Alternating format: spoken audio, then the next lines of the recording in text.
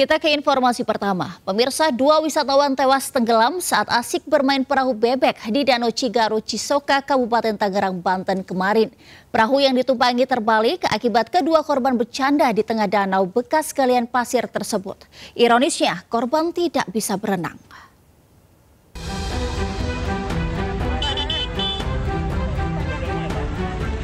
Dua pemuda tergeletak tak bernyawa di atas kapal wisata setelah diselamatkan warga sekitar dan dibawa ke pinggir danau. Keduanya tewas tenggelam usai bermain perahu bebek di lokasi bekas galian pasir yang disulap jadi danau wisata Cigaru, Kecamatan Cisoka, Kabupaten Tangerang. Keduanya tenggelam karena tak bisa berenang saat perahu yang dinaikinya terbalik.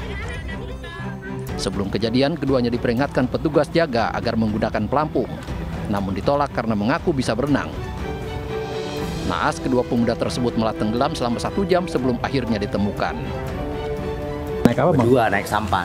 Naik sampan bebek-bebekan. Sebelum naik juga udah dikasih tahu pakai pelampung, nggak mau. Ngomongnya udah pinter berenang gitu. Cowok cewek atau cowok cowok? Cowok semua. Oh cowok semua terus. Ya. Mereka Kejadian begitulah langsung. tenggelam di tengahnya gara-garanya terbaliknya. Bercanda, Oh bercanda di tengah. bercanda iya. Oh kelihatan dari jauh ya. Iya kata anak yang lihat bercanda itu orang. Oh, Pasca kejadian naas, salah satu loket tempat penyewaan perahu dan sampan bebek di garis polisi sebagai barang bukti. Meski ada kejadian tewas tenggelam, namun kunjungan wisatawan ke bekas galian pasir tak surut. Setiap perahu wisata yang dioperasikan warga sekitar penuh mengangkut wisatawan. Dari Tangerang, Banten, Sukron, iNews melaporkan.